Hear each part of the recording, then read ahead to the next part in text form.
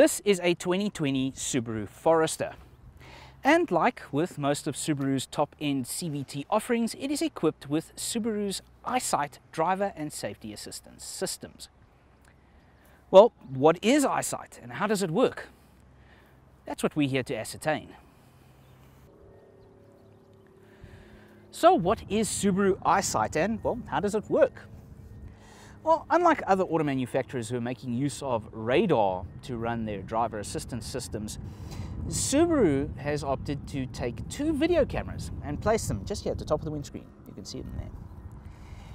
And what that essentially does is it gives your car stereo eyesight, just like a human being. Now with radar, it can sense that there's something there and then uh, do whatever it needs to.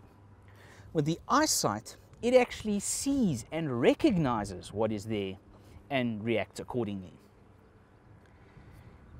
Bit of a unique twist on the whole thing. Now, the eyesight system is just a small portion of all of the safety systems that are available in a Subaru.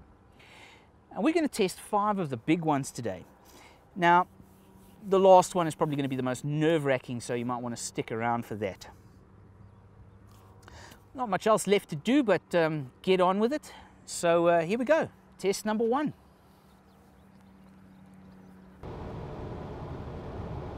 So here you are, driving on the freeway. EyeSight is actually watching the lines on the road. Now you're looking for your turnoff and you don't always happen to notice that the car tends to drift inside of the lanes and while looking for your turn off the car starts drifting off. And what you're going to get is a audio and visual warning that you're drifting out of your lane. You can correct. We would have liked to have seen a little bit of force feedback or maybe a, a vibration or something to warn you uh, maybe even self-steer to get you back into the lane. But on the whole a very useful item now another very useful thing that uh, the Subaru is fitted with is blind spot monitoring. Now, not really used with the EyeSight, but if you're busy looking for your off-ramp and you don't happen to notice the cars coming up in your rear, what happens is you'll get a small, in your peripheral vision, you'll get a small little light that blinks over here to let you know that, hey, there's something there and you better watch out and don't move over. Now blind spots are always a bit of a problem. And one of the nice things about this vehicle is it has a single camera underneath the passenger side mirror, which gives you a three-quarter facing forward view of everything that's in the blind spot of the car over there. Now, if you should put the car into reverse and start reversing, it'll give you an alert that there's something there. So you don't ride into it. Now, another one of the safety systems which we really, really like is the EyeSight detects objects in front of the car, whether it be a wall or an object or something of the sorts.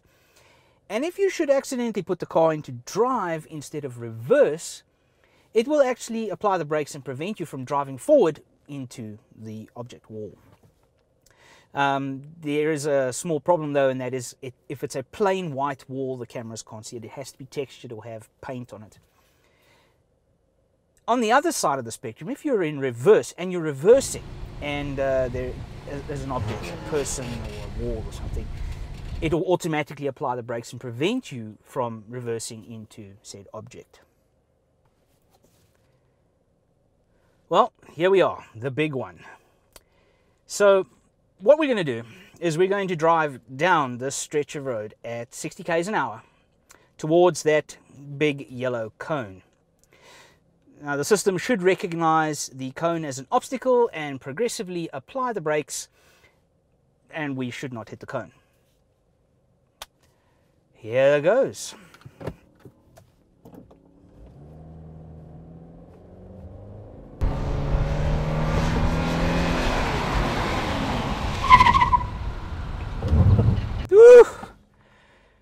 Didn't doubt it for a second. Subaru's EyeSight really is a very unique take on driver assistance systems. And we do like Subaru's left field approach to things. Now the system isn't without its shortcomings. Um, there are small things like the fact that it cannot be used in inclement weather, so heavy rain, dense fog, the system's not going to work. Uh, small things like it, the fact that it can't distinguish a plain white wall. It needs a textured surface or paint so that it can get its bearings.